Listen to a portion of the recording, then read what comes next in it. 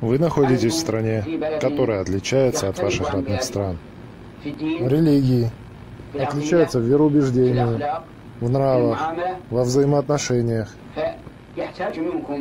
И вам необходимо утвердиться на том, на чем вы сейчас, в религии Аллаха Азуаджаль, в достойных нравах, и донести до тех людей, до народа, что вы являетесь примером благих нравов. Религия ислам распространяется словами, в этом нет сомнений, и призывом к Аллаху. Однако также она распространяется призывом, делами, проявлением нравов, которые соответствуют исламу. В том случае, если вы продемонстрируете им правдивость в ваших словах, соблюдение договоров, отстранение от лжи и обмана, это будет из мощнейших средств призыва к исламу.